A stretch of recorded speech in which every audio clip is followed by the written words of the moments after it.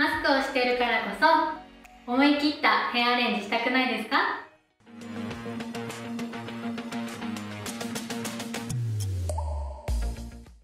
こんにちはこんにちは。みさきです渡辺です。はい始まりましたみさきの部はい、よろしくお願いします。お願いします、はい。今日は、うマスクだからこそできる、ん。うん。前髪ある方限定のヘアアレンジをやっていきたいと思います、はい。まあ、いつもとだから、はい前髪があるっていうことは、前髪を使ったヘアアレンジってことかな。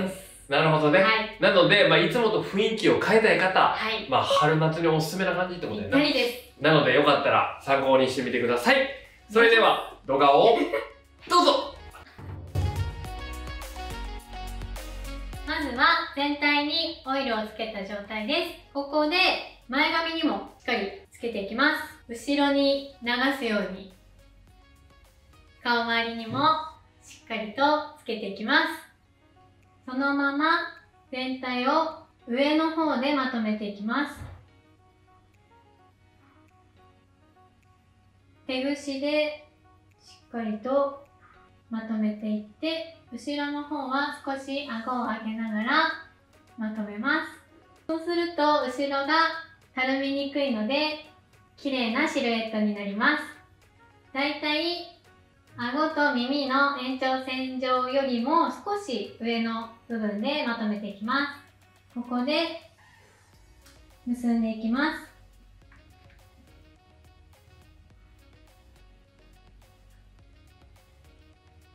毛先を3つに分けて三つ編みにしていきます。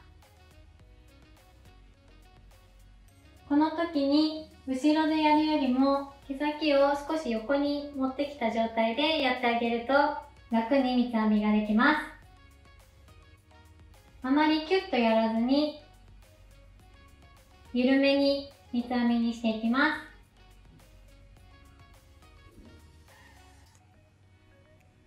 結んでいきます。三つ編みをほぐしていきます。この時のポイントは結構大げさにほぐしていきます。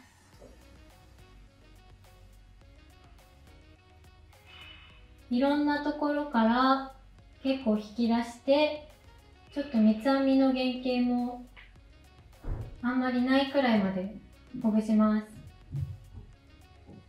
裏側も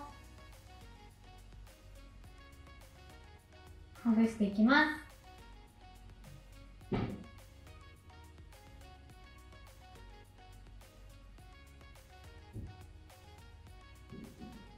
根元の部分は結構ボリュームが多いので少し抑えめでほぐします。お団子にしていきます。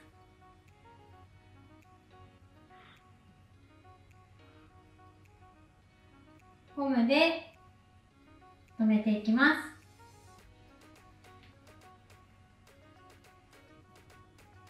落ちてきた前髪を真ん中に集めるようにまとめていきます。押さえてる部分をピンで挟めて毛流れの反対側に差し込んでいきます。前髪のこの辺の位置から少し遅れ毛を下ろしていきます。横を向いた時にこの辺が薄く見えやすいのでこの辺も少し下ろしていきます。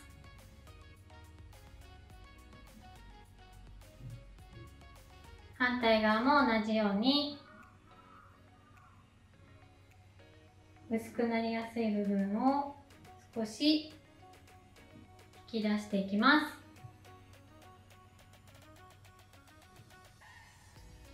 際のここの部分を少し前の方に引き出していきます。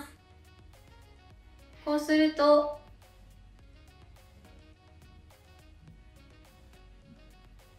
この薄い部分がボケてくれて綺麗に見えます。少し前の方に使って隠すような感じでほぐします。ピンの部分を押さえて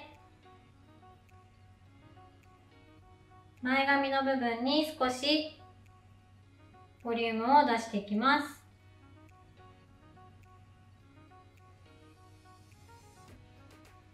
前髪の横の部分も少しボリュームを出します。